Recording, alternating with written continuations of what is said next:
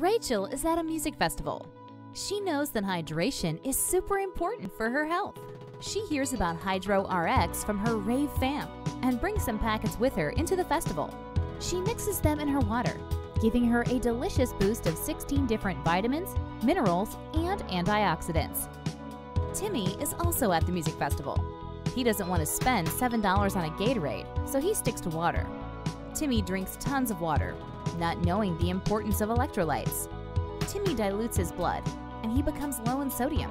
He has a seizure in the crowd. Hey, that's not what happened. Sorry, it could have.